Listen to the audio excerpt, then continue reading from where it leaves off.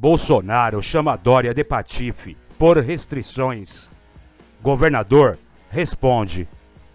Como esse patife de São Paulo quer, é quebrar o Estado, quebrar o Brasil, para depois apontar um responsável. É coisa de patife, que é esse cara que está em São Paulo que Sem compromisso oficial na agenda para hoje, dia 10, o presidente Jair Bolsonaro foi de moto a uma comunidade perto de Brasília, onde visitou uma família de venezuelanas. Comeu em padaria e visitou uma igreja. Ele voltou a criticar as restrições mais duras para a circulação de pessoas e o fechamento de comércio em alguns estados devido à pandemia de Covid, além de chamar o governador de São Paulo, João Dória, de patife. Viver num país que um governador como o de São Paulo faz um decreto que fecha tudo. O comércio de São Paulo está todo à venda ou passando o ponto.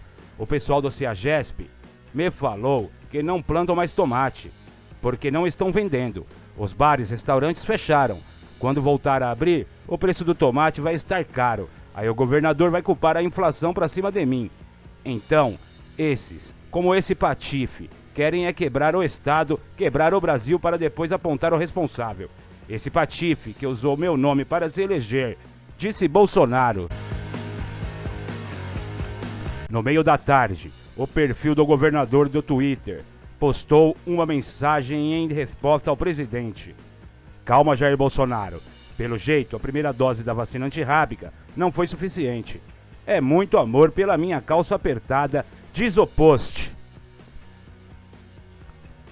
Durante a semana, o perfil já havia citado a vacina antirrábica, usada contra a raiva, para responder outro comentário do presidente, na última quinta-feira, 8.